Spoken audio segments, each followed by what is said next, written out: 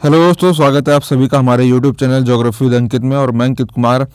आप सभी के लिए एक बार फिर से ये रॉक सिस्टम वाला जो वीडियो अधूरा था, उसका पार्ट टू लेकर के आया हूँ। अगर आपने पार्ट वन नहीं देखा है तो पहले आप उसे जा कर के देखें। तब जाके आपको ये वाला जो वीडियो है, वो समझ में आएगा।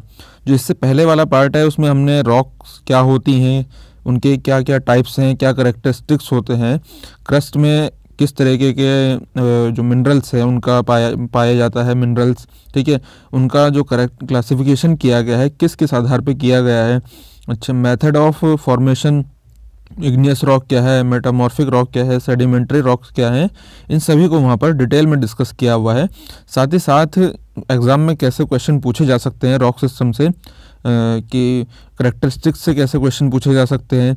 या फिर जो बेसिक रॉक होती है, उसका जब मेटामॉर्फिज्म होता है तो वहाँ से क्वेश्चन कैसे पूछे जा सकते हैं? सभी को मैंने वहाँ पर डिटेल में डिस्कस किया हुआ है, ठीक है? अच्छा टेक्सचर जो अकॉर्डिंग टू टेक्सचर है, यानी कण के आधार पे, बड़े कण वाले रॉक्स को क्या कहते हैं, छोटे कण वाले रॉक्स को क्या कहते हैं केमिकल स्ट्रक्चर क्या होता है केमिकल के आधार पर रॉक्स को कैसे करके डिफाइन किया गया है? एसिडिक रॉक क्या है बेसिक रॉक क्या है, क्या करेक्टरिस्टिक्स होती हैं इंटरमीडिएट अल्ट्रा बेसिक रॉक्स क्या होती हैं, इन सभी को मैंने वहाँ पर डिटेल में डिस्कस किया हुआ है। तो अगर आपने पहले वो वाली वीडियो नहीं देखी तो पहले प्लीज़ इससे पहले उस पार्ट को पार्ट वन को आप देखें, ताकि आपको ये अच्छे से बेहतर तरीके से समझ में आए। देखिए, ये वाला जो चैप्टर है, ये जो वीडियो है, मैं अब बना रहा हूँ, ये आपको यूट्यूब पर कहीं देखने को मिलता नहीं, लेकिन यहाँ से क्वेश्चन आपको ज़रूर पूछे जाते हैं। और मैंने इसीलिए आपको इसे ऐड किया हुआ मैं वही चीज़ें आपके लिए लेकर के आता हूँ जो एग्ज़ाम में पूछी गई हैं या फिर पूछी जा सकती हैं, ठीक है? अब हम यहाँ से हम देखेंगे कि इनसे टोपोग्राफी या फिर लैंडफॉर्म कैसे करके क्रिएट हो सकते हैं। इस चीज़ को हम ऐसे समझेंगे, जब आप देखिए, अब लावा का जब यहाँ से उद्गार होता है पृथ्वी के सरफेस से, जब लावा ये है पृथ्वी का सरफेस यहाँ से जब लावा का क्या होगा? उद्गार होगा। तो या तो वो पृथ्वी के सरफेस के नीचे ही जम जाएगा। अगर यहाँ पर ये क्रस्ट जो है काफ़ी मोटी भाग है क्रस्ट काफ़ी मोटा है यहाँ पर। तो लावा वो बाहर निकल के नहीं आ पाएगा सरफेस पर तो क्या है, वो आंतरिक भाग में पृथ्वी के इंटीरियर पार्ट में ही जम जाता है, ठीक है? या फिर वो अगर यहाँ से क्रस्ट पतली है तो उसे फोल्ड करके बाहर आ जाएगा और क्या है, परत दर परत जमने लगेगा इस तरीके से। तो जब वो जमने लगता है या फिर आंतरिक रूप से भी उसकी कुछ ना कुछ अपना जमाव का कुछ ना कुछ करेक्टरिस्टिक होगा। उसका कुछ ना कुछ क्या है उसका फ़िज़िकल उसका आउटर जो प्रोफ़ाइल है वो अलग तरीके की होगी ठीक है? जैसे आ, हम कई सारे लैंडफॉर्म्स पढ़ते हैं कास्टोपोग्राफी में या फिर कोस्टल लैंडफॉर्म्स में कई सारे लैंडफॉर्म्स पड़ते हैं तो एक लैंडफॉर्म दूसरे लैंडफॉर्म से अलग होता है, चाहे उसका फॉर्मेशन एक ही चीज़ से हो रहा हो, एक ही प्रोसेस से हो रहा हो, लेकिन उसकी आकृति जो है अलग अलग हो सकती है, हो सकती है कि नहीं हो सकती है ना? हो सकती है बिल्कुल। तो वही चीज़ है कि यहाँ पर जब ये लावा उद्गार होता है तो इसकी आकृति अलग अलग तरीके से हो सकती है, उस पर और बाह्य प्रक्रम भी कार्यरत हो सकते हैं। बाह्य प्रक्रम यानी कि वेदरिंग हो सकती है इरोजन उस पर होकर के वो अलग अलग शेप ले सकता है। तो इन्हीं को, इन्हीं चीज़ों को हम यहाँ पे स्टडी करने वाले हैं, ठीक है? और एग्ज़ाम में ये चीज़ें पूछी गई है, इसलिए मैंने इन चीज़ों को यहाँ पर ऐड किया हुआ है। तो हम देखेंगे जब यहाँ पर सबसे पहला लिखा हुआ है एक्सोफोलिएशन गुंबद ठीक है? एक्सोफोलिएशन गुंबद क्या है? इस चीज़ को हम समझते हैं। देखिए, जब अर्थ का सरफेस ये है सरफेस यहाँ पर नीचे से क्या है? लावा का उद्गार हुआ। लेकिन ये क्या, ये सरफेस के नीचे ही यहाँ पर जम गया, ठीक है? बहुत ज़्यादा अंदर नहीं है सरफेस के थोड़ा ही नीचे है। जब ये यहाँ पर जम जाता है, लेकिन कुछ समय बाद क्या होगा, कुछ समय बाद धीरे धीरे अपर्दन होता रहेगा होता रहेगा इस सरफेस वाले भाग का। यहाँ पर देख रहे हैं आप कैसे अपर्दन हो रहा है, इसका इरोजन हो रहा, अपर्दन हो रहा है इरोजन हो रहा है, और फिर क्या होगा अपर्दन के बाद, ये जो गुंबद है, यानी कि डोम शेप आकृति है लावा की ये बाहर से सरफेस से, यहाँ से अगर हम खड़े होंगे तो हमें दिखने लग जाएगी। तो इसी प्रकार की आकृति को एक्सोफोलिएशन गुंबद या एक्सोफोलिएशन डोम कहते हैं। तो एक्सोफोलिएशन डोम क्या है? कि वह लावा की वह स्थलाकृति जो गुम्बदाकार आकृति की होती है, लेकिन बाह्य अपर्दन और इरोजन और वेदरिंग के द्वारा क्या है? वो बाहर से फिर दिखने लगती है। तो इस प्रकार की स्थलाकृति को हम क्या कहेंगे? एक्सोफोलिएशन गुंबद। आई होप कि आपको ये समझ में आया होगा। इसका जो एग्ज़ाम्पल है, वो रांची के पठार में आपको धारवाड़, जो झारखंड है, झारखंड में रांची का पठार है, उसमें जो धारवाड़ क्रम की चट्टान है, अब पुरानी चट्टानें कहाँ होंगी? वो नीचे की तरफ़ होंगी। यहाँ पर आर्यन क्रम की चट्टान है रांची के पठार में, ठीक है? इसके ऊपर क्या है? आपको धारवाड़ क्रम की चट्टानें फिर परत दर परत जम गई, ठीक है ना? इरोजन होकर आई कर्नाटक से, धारवाड़ क्रम की चट्टान है और यहाँ पे वो क्या है? इसके ऊपर आर्कियन क्रम की चट्टानों के ऊपर बिछ गई। ये है आर्कियन यह धारवाड़ ठीक है? अब इनमें क्या होगा? इनमें बाह्य प्रक्रम काम करेंगे। जो पानी है हवा है सूर्य तप है ये सारी चीज़ें इस पर काम करेंगे।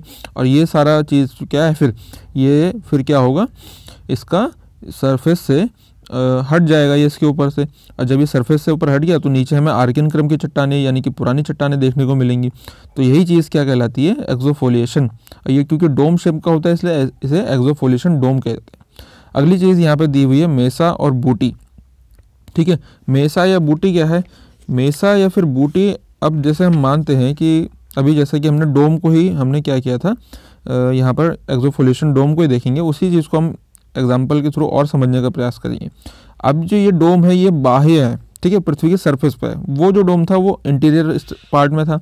ये वाला जो डोम है, मान लेते हैं हम कि पृथ्वी के सरफेस पे है। अब ये जो सरफेस पे डोम है, इसमें कहीं पे जो रॉक है इग्नियस रॉक लावा वो कहीं पे सॉलिड हो चुका है, कहीं पे मुलायम है। तो जहाँ पर ये रॉक सॉलिड है तो वहाँ पर तो अपर्दन देखेंगे हम, नहीं हो पा रहा है, ठीक है? जैसे कि यहाँ पर आपको दिखाई भी दे रहा है कि जहाँ पर रॉक सॉलिड है तो वहाँ पर अपर्दन नहीं हो पाएगा। और जहाँ पर रॉक सॉलिड नहीं है, वहाँ पर क्या है? अपर्दन हो गया है। इसी कारण यहाँ पे क्या, नदियों ने अपनी घाटियाँ बना दी। देखिए, यहाँ का जो पूरा पार्ट है, इसका ये जो स्थलाकृति है, उसका पूरा क्या है इरोजन हो चुका है यहाँ पे। अब ये बीच बीच में आपको देख रहे हैं आप, ये कठोर वाली स्थलाकृति, यहाँ पे कठोर इग्नियस रॉक है, और यहाँ पे सॉफ्ट है इग्नियस रॉक इसलिए यहाँ पे कटाव हो चुका है। अब जो ये भाग बचा, ठीक है ये वाला जो भाग बचा अब यहाँ पर आप देख रहे हैं, ठीक है, इस प्रकार की स्थलाकृति मेसा। मेसा यानी कि मेज़ की तरह, लैटिन भाषा का शब्द है, इसलिए मेज़ भी इसका मतलब होता है, मेज़। अभी मेज़ जैसी आकृति आपको देखने को मिल रही है, जिसके किनारे क्या है, खड़े ढाल वाले हैं, और ऊपर एक कैप सा आपको देखने को मिल रहा है तो इस प्रकार की स्थलाकृति को किनारे खड़े ढाल वाली, जो कि आग्नेय चट्टान द्वारा बनी है, इसे हम क्या कहते हैं, मेसा कहते हैं। और मेसा का ही अपर्दित रूप, उसका ही छोटा रूप क्या है? बूटी कहलाती है। इसे वॉल्केनिक बूटी भी कहते हैं, क्योंकि वॉल्केनो से बनी हुई है, लावा से बनी हुई है है ना?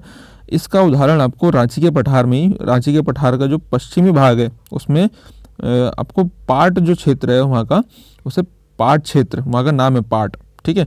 तो वहाँ आपको देखने को इसका एग्ज़ाम्पल मिलेगा। और स्थानीय, वहाँ की स्थानीय भाषा में, रांची की स्थानीय भाषा में इसको पाट भी कहते हैं तो इसका पूरा जो प्रदेश कहलाता है, वो पाट प्रदेश भी कहलाता है, ठीक है? आई होप आपको ये क्लियर हुआ होगा।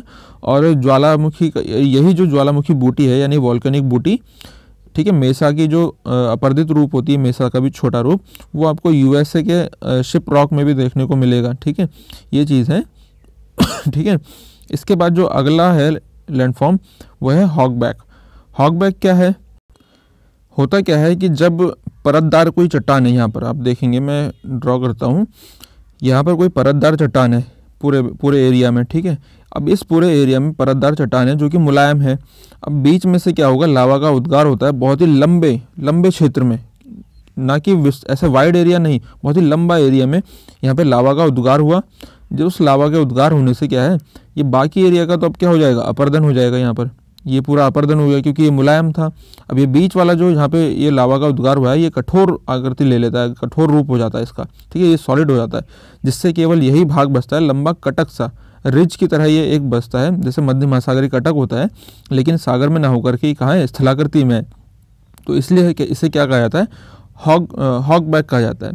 हॉक बैग की क्या खास बात है? ये लंबी और पतली श्रेणी में का ये रूप होता है, जैसे कि आप यहाँ पर देख भी पा रहे हैं, क्या है, ये लंबी पतली श्रेणी का एक रूप है, जो कि, जो इसके अगल बगल की मुलायम चट्टानों को काट करके अपर्दित स्वरूप ये बनता है, ठीक है? इसके जो किनारे जो होते हैं, ढाल, इसका जो ढाल होता है, इसका यानी कि डिप एंगल जो होता है, जैसे कि मैंने आपको पहले भी बताया था कि चट्टान और क्षैतिज धरातल के बीच का जो एंगल है, उसे क्या कहते हैं? डिप कहते हैं, यानी कि नमन, ठीक है? वो दोनों क्या होते हैं? खड़े ढाल वाले होते हैं। किसके? हॉकबैक के। और हॉकबैक से ही मिलती जुलती एक असलाह करती होती है, जिसे बोलते हैं क्वेस्टा। ये यहाँ पर लिखा हुआ है। क्या लिखा हुआ है? क्वेस्टा।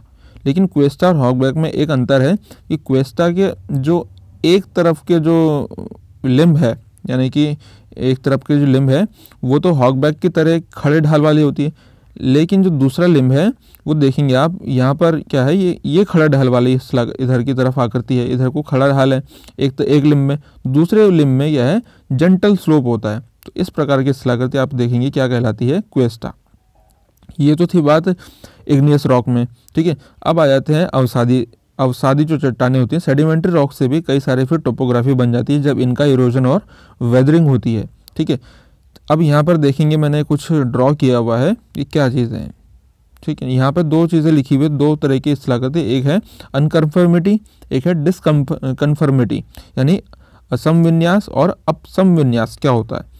जब हम देखेंगे जो छहते जो ये लैंडफॉर्म्स हैं, अवसादी चट्टानों से बने जो लैंडफॉर्म्स हैं, अगर वो अवसादी चट्टाने क्षैतिज रूप में, क्या है?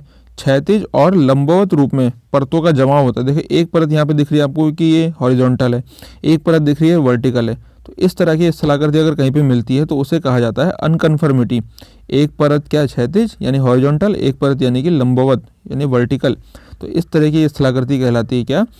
अनकन्फर्मिटी यानी कि असम विन्यास। और दूसरी तरफ़, असम विन्यास के अगर हम इसका दूसरा साइड देखें, कि ये डिस्कन्फर्मिटी क्या है? तो डिस्कन्फर्मिटी क्या है? अगर ये वर्टिकल हम अगर देखें, केवल लंबवत परतें हैं जो, लेकिन इनका जो स्ट्रक्चर है, इनका जो स्वभाव है केमिकल कंपोजिशन है, उसमें अगर अंतर हो, है सभी वर्टिकल लेकिन इनका स्ट्रक्चर अलग है, इनकी प्रोफ़ाइल अलग है, और इनका जो केमिकल कंपोजिशन है, वो अलग है तो उसे कहलाता है डिस्कन्फर्मिटी इसे हम क्या कहेंगे? डिस्कन्फर्मिटी या अपसम विन्यास ठीक है? इसके बाद अवसादी चट्टान, यानी सेडिमेंट्री रॉक से कई और भी स्थलाकृतियाँ बनती हैं जिन्हें कि हम अलग से डिटेल में डिस्कस करेंगे। जैसे लोयस है, जो वायु द्वारा बनाया जाता है, वायु निर्मित स्थलाकृतियाँ हैं और जल निर्मित है, हिमानी द्वारा बनती हैं, परिहिमानी, ग्लेशियल या पेरीग्लेशियल द्वारा। ये सारे चैप्टर अलग अलग हैं, इनको यहाँ पर डिटेल में डिस्कस करने का कोई मतलब नहीं है। इन सभी को जब डिटेल में कराया जाएगा, तब समझ आएँगे और जो कि हम कराएँगे। ठीक है, ये आने वाले चैप्टर्स में इनका डिटेल में एक्सप्लेनेशन होगा। यहाँ पे बस आप केवल एक बात को समझ लें, यहाँ पे इतना सा, जो मैंने नीचे एक ये हिमोड़ हिमोड़ क्या है? इसको समझ लेते हैं। जब हिमनद यानी कि जो ग्लेशियर होता है, ग्लेशियर का जितना भी मलबा है, जो डिपॉजिट है, उसको कहीं पर अगर बिछा दिया जाता है तो उसे बोलते हैं हिमोड़, यानी मोराइन। ठीक है, इसे कहा जाता है, इसे कहते हैं मोराइन। और यही सेम चीज़ होती है जलोड़ में। जब जल द्वारा जो सेडिमेंट है, वो कहीं पे बिछा दिया जाएगा तो उसे जलोड़ कहते हैं, ठीक है? अब ये चार तरीके से अपना जो डिपोजिशन है, वो कर सकता है चार जगह पे। उसके चार अलग अलग एरिया हो सकते हैं, या तो वो लेटरल हो सकता है। अगर वो पार्श्विक क्षेत्र में, किनारे वाले क्षेत्रों में अगर कर रहा है डिपोजिशन तो वो कहलाएगा पार्श्विक जलो, हिमोड़, यानी कि लेटरल मोराइन, ठीक है? अगर वो दो देखिए, एक आ रहा हिमोड़ इधर से, एक आ रहा मोराइन इधर से। और ये बीच में आकर के अगर मिल जाते हैं तो इस मिडिल वाले पार्ट को कहते हैं जहाँ पर मोराइन डिपॉजिट हो रहा है, इसको बोलते हैं मिडिल हिमोड़, यानी कि मिडिल मोराइन, ठीक है?